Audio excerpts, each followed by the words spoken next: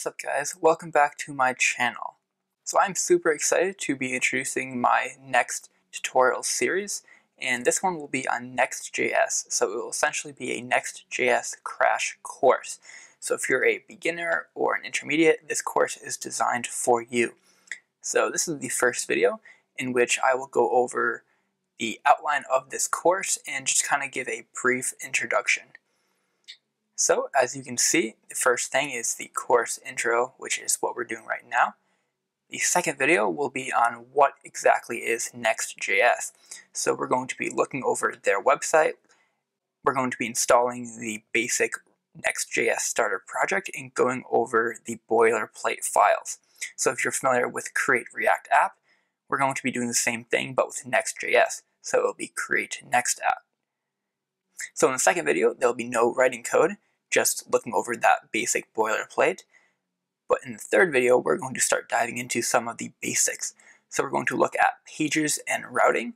We're going to look at CSS support and the various ways that you can include CSS and styling into your project. We're going to look at data fetching. And then we're going to take a look at static files and how you can include those. So images or other global style sheets. Finally, we're going to look at environment variables or API keys and how you can keep those secret in your project by using a .env file, and then how you can access those variables throughout your entire project. And then once we finish with the basics, we're going to take on an actual project. And the project that we're going to be doing is creating a social media dashboard. So I'm really excited about this project. It was really fun to build. And basically what it is, is it uses a bunch of third-party APIs to fetch data about your social media account. So followers, following, uh, how many GitHub repos you have, stars, stuff like that. So as you can see, the three APIs that we will be using are YouTube, GitHub, and Strava. So I'll be making a video separately for each of those so we can really dive deep into the API. So those videos, even if you don't want anything to do with Next.js, but you just want to interact with that specific API, those videos will be for that.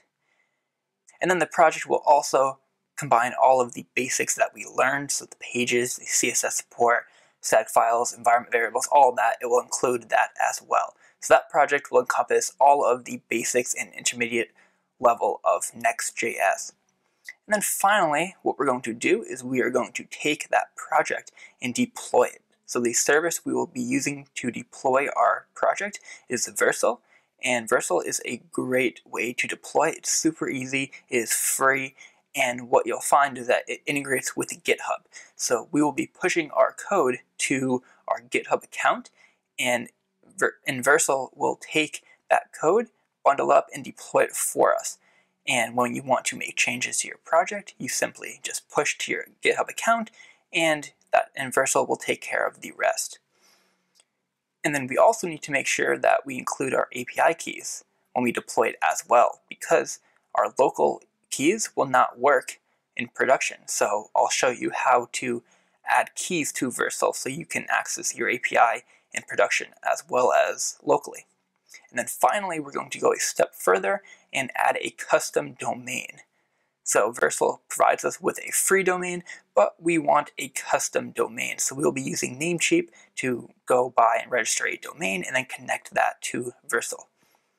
So the last thing I want to mention in this video is here's the uh, Next.js website, but right here is my GitHub repository, and this will be holding the code for the social dashboard that we will be building. So right now it's currently empty, but as soon as I get to that portion of the tutorial, all the code will be pushed here. And that's it for this video, guys. So I hope you enjoyed this video and you're excited for this Next.js crash course. And I'll see you in the next one.